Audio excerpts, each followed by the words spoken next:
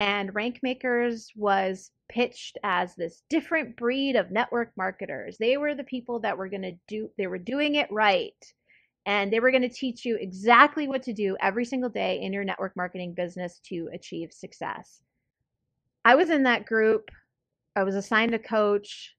And looking back, you're going to hear me say a lot, but look, say that a lot.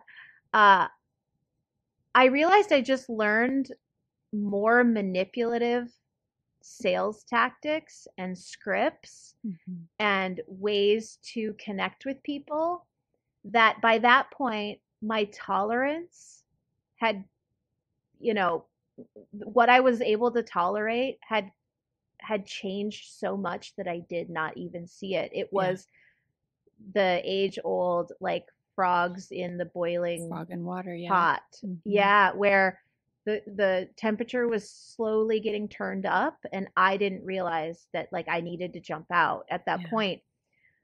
But I used all the tools. I bought his tools and his books and everything for my team because there's another thing within multi-level marketing that I don't get think gets talked about enough and that is like you as a leader the pressure to keep your team around. And mm-hmm. actually Ray used to say he still says it, but he say keep them around the campfire because sooner or later they're going to catch a spark.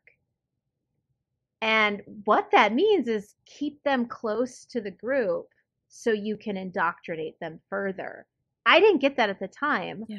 But as a leader, there is a real pressure that if your team, if you have an attrition problem, you are told you actually have a team culture problem. Right. And you, as a leader, you're making it so those people want to leave.